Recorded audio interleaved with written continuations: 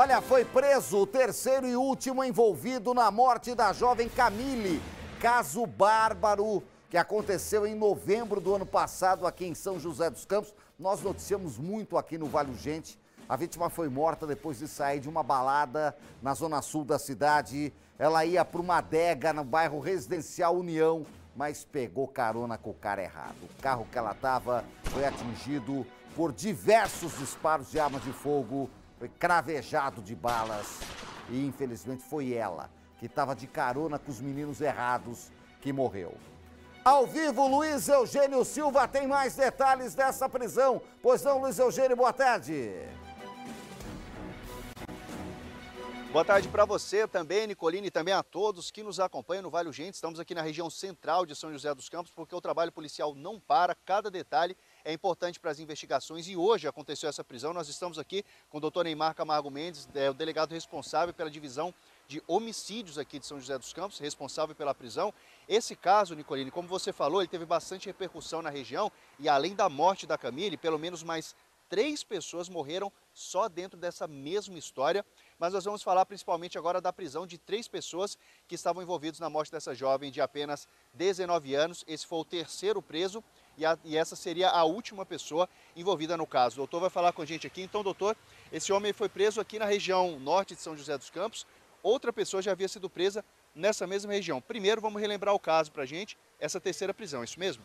Isso mesmo, é importante ressaltar que a pessoa que foi presa na data de ontem foi um dos, um dos principais autores, né? No, no, começo dessa, dessa briga, que ele que teria feito, efetuado o disparo contra o Pedro. No começo, quando houve o relacionamento do Pedro com a, com a namorada, eles teriam ido na Zona Norte, essa namorada teria, um, um teria sido uma ex-namorada do, do, do Pio, né? com isso houve esse disparo do, do, feito pelo, pelo Kaique. A investigação é, transcorreu, houve outras mortes, e nessa última, em relação ao, ao que ele está preso hoje, o Kaique, foi numa. O Pedro seria o alvo principal desse, desse grupo, e após uma perseguição, o Kaique teria efetuado disparos, teria atingido o Pedro, e infelizmente a Camille veio a, a óbito. Vamos só contextualizar, lá no ano passado, né, doutor? Então, tudo começou quando esse Pedro, esse rapaz que, uh, que, foi, que estava no carro junto com a Camille, ele se envolveu com a outra jovem, só que tinha um pretendente dessa outra jovem e começou uma confusão praticamente entre dois grupos rivais. E esses grupos começaram a tirar a vida um do outro como forma de vingança.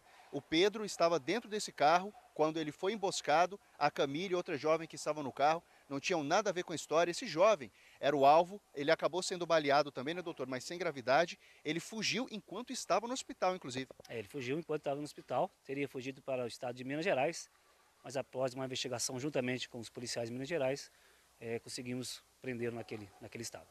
Como o doutor trouxe para a gente agora, esse último rapaz que foi preso, de 23 anos, preso na região norte de São José dos Campos, inclusive no mesmo conjunto habitacional onde toda essa história começou, ele foi a pessoa que atirou no carro contra a vítima. É, de forma bem simples, né? Houve esse namoro né, do, do, do, do Pedro com a menina, ele ter ido nesse local, essa menina seria uma, uma ex-namorada do Pio, houve uma discussão, houve um disparo efetuado contra o carro do Flávio, efetuado pelo, pelo Kaique, né? Após isso, o, atearam, né, o, o Flávio ateou fogo no carro do, do, do Pio, né, numa, numa, numa, casa noturna aqui em São José dos Campos. É, houve depois outras, outras desavenças desse grupo, né? O, o, Pedro veio a matar o Pio, né? veio a matar um outro comparsa desse grupo que é conhecido por Oreia, por isso Pedro estava jurado de morte por esse grupo. Né? E nesse fatídico dia acabou ocorrendo essa tentativa contra o Pedro e a morte da Camille.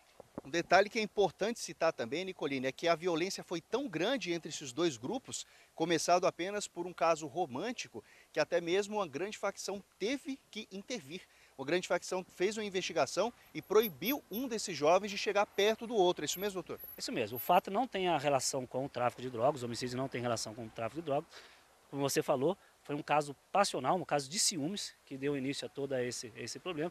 Logicamente, é, chamou a atenção da, da, do crime organizado naquela região para que não houvesse essa, essa outros casos e que atraísse, logicamente, a, a atenção da polícia, o que foi feito, né? Que gerou várias prisões e, e várias pessoas presas, não só em relação a esse fato, a, também relacionado ao tráfico de drogas no local. É, um ponto importante também citado pelo doutor é que essa investigação dessa rixa entre esses dois grupos, que causou a morte dessa jovem de apenas 19 anos, acabou levando a polícia também a, a, a chegar a outras linhas de investigação, já que essas pessoas não cometiam apenas esses crimes, né, doutor? Já estavam envolvidos em outros crimes. Claro que isso agora é o trabalho da polícia, mas também foi importante para que outras linhas investigativas seguissem e ainda seguem para o trabalho da polícia aqui em São José dos Campos. E esse caso foi lá em novembro do ano passado, quando a jovem foi morta no dia 21 de novembro. A primeira pessoa foi presa no final de dezembro, a segunda pessoa foi presa agora em abril e a terceira pessoa foi presa ontem. Agora todos os envolvidos na morte da Camille atrás das grades. Sim, é, graças a Deus é, conseguimos estancar esse, esse, essa briga, né, esses homicídios na, nessa região, com todas as pessoas presas dos dois lados. E no caso do jovem que também estava no carro, que foi baleado, ele também pode responder, mas por outros crimes. Sim, ele, é, ele foi indiciado pela morte do Pio e do Oreia, que seriam é, comparsas do, do Kaique. Uma vítima que não tinha nada a ver com a história e três pessoas que estavam nessa briga entre dois grupos criminosos de São José dos Campos. Nicoline, volto com você.